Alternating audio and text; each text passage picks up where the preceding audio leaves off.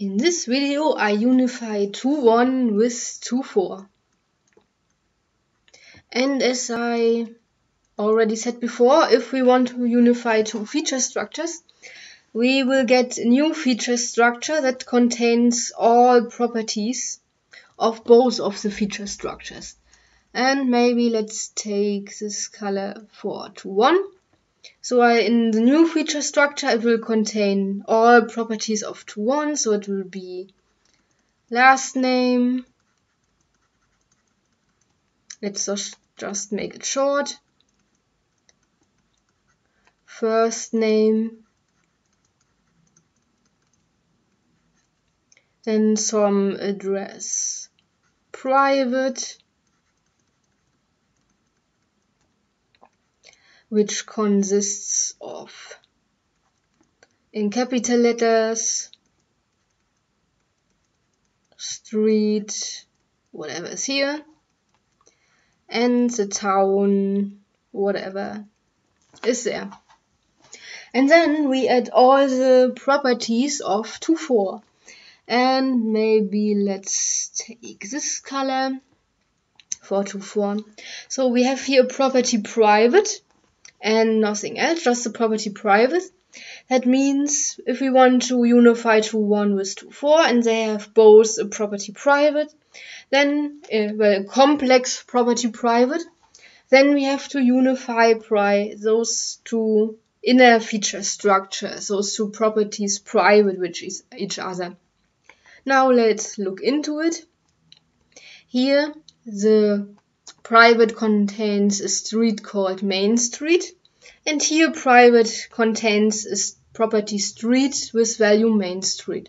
So it, this is the same in both and they match and then that means they can be unified. And I will just, well in the new feature structure it will just include this, those property with the value that's that appears in both feature structures. Now we have the town here. It's this is called Greenville and this one is called Springfield. And here here we have a problem because they have here we have at the same place on the same level in the same sub-feature structure that we are about to unify there we have the same atomic property with different values. And the problem is we cannot have one property with two values. It, so I can't have a property with Springfield and Greenville. And I also can't have two times the same property, so I can't have one line with town Springfield and one line with town Greenville. I cannot uni I cannot um, keep properties. I cannot keep both properties we just have a conflict. That means we cannot unify those both inner feature structures. And that means we also cannot unify the outer feature structures. So we can't we can't unify because we have a conflict in this property. That means we cannot create a valid or we not get a valid feature structure by unifying T1 with T4.